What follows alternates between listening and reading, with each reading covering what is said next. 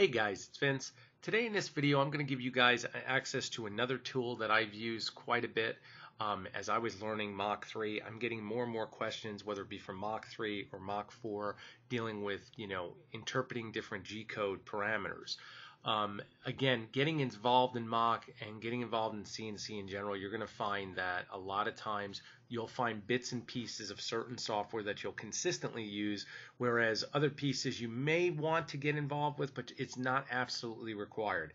That being said, you should always try to expand your window of opportunity, so to speak, of making you more efficient at whatever project you're working on. So uh, what I decided to do is give you guys the same tool that I've used for a while. Um, basically what we've got here is a Mach 3 G-code PDF and we have the Mach 4 G-code PDF which again that's their latest release from Artsoft. Um, if you scroll down here you can see here all of these um, explanations I should say titles of G-code that's available you can click on. So if you do have a question you can click on it. It'll bring you right down and give you more or less a breakdown of what's going on with whatever parameter you click on. Um, more of you guys that are getting involved in CNC, and I'm talking about the guys who haven't even gotten their machine yet, but are really looking into delving into micromanufacturing. This is an area that you guys definitely want to try to learn prior to getting your hardware. I've said it before and I'll say it again 98% of my clients never, ever, ever have a problem assembling the physical side mechanical structure of the machine they have problems digesting all the information required to run the machine through the software. Because again, you're not just learning um, motion control software, which will be Mach 3, UC CNC, Mach 4, whatever you choose, Linux CNC. You also have to learn your CAD CAM. So keep that in mind. What, always try to delve your time, at least this is my outlook, is to delve my time into the areas that are going to take the most time for me to become acclimated to. So learning anything with software is always going to take more time, especially as um, you're becoming familiar with G code. It, it, seems overwhelming. I mean, if you look at this list here, this is just part of them. You can see exactly what's going on here.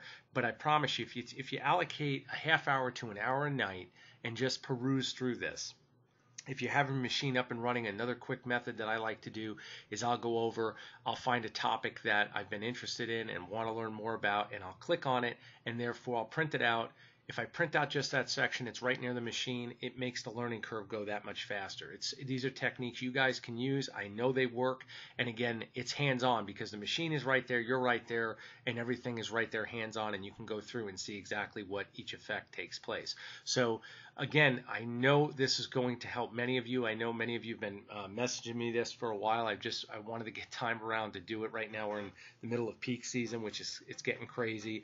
I am trying to put some stuff together for Black Friday Friday for you guys. I'm going to see what I can come up with.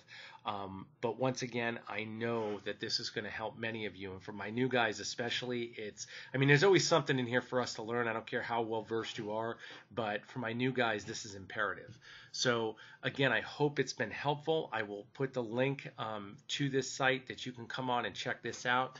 Um, another thing I wanted to discuss with you guys again is I want to say thank you to all of you for your patience. Again, I'm in the middle, I cannot stress this enough, of peak season, and peak season is very difficult when you're a one man show. So, again, thank you all. I love you guys. Your support has been wonderful, um, to, especially to all my subscribers. Thank you so much. Um, I am going to be trying to do more and more videos as time goes on. I'm trying to do one a week if I can get get with it. Right now, with the season the way it is, it's just crazy.